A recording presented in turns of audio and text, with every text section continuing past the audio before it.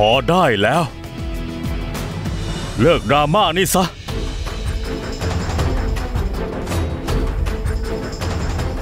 ที่คุณทำอะไรขนาดนี้ มันทำให้ผมเชื่อแล้วว่าคุณเกลียดกดดันมากกว่าอะไรจริง ๆ คุณคิดจะขายศักดิ์ศรีของกดดันเพื่อใช้ชนะอย่างนั้นเหรอ